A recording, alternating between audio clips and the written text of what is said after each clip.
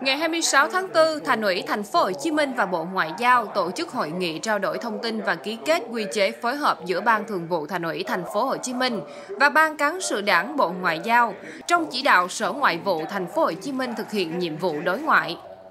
Bí thư Thành ủy Thành phố Hồ Chí Minh Nguyễn Văn Nên khẳng định, việc ký kết góp phần nâng cao trách nhiệm, sự chủ động tăng cường phối hợp chặt chẽ hơn nữa giữa Bộ Ngoại giao và Thành phố Hồ Chí Minh trong nhiệm vụ phát triển đất nước. Bí thư Thành ủy Thành phố Hồ Chí Minh bày tỏ tin tưởng quy chế phối hợp sẽ được triển khai thực hiện trên tinh thần của kết luận 14 với phương châm thích ứng, linh hoạt, hiệu quả, không cứng nhắc, không máy móc trong hành động,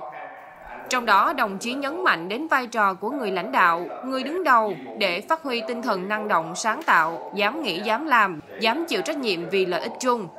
Đồng thời, Bộ Ngoại giao xem thành phố Hồ Chí Minh là nơi triển khai thí điểm những vấn đề mới trong ngành ngoại giao theo tinh thần kết luận 14 của Bộ Chính trị. Trong phối hợp giữa Bộ Ngoại giao và thành phố Hồ Chí Minh, cần chú trọng đến chuyển đổi số, đẩy mạnh cải cách hành chính mang lại hiệu quả với quyết tâm chính trị cao nhất.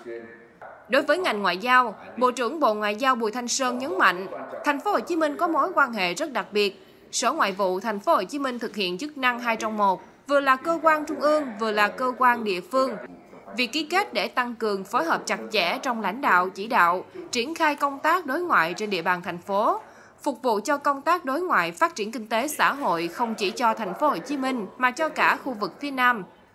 Trao đổi tại buổi làm việc, Chủ tịch Ủy ban nhân dân thành phố Hồ Chí Minh Phan Văn Mãi cho biết, thành phố xác định mục tiêu ngoại giao kinh tế là trọng tâm nhằm thu hút huy động các nguồn lực bên ngoài phục vụ cho sự phát triển kinh tế xã hội của thành phố Hồ Chí Minh theo nghị quyết 31 của Bộ Chính trị.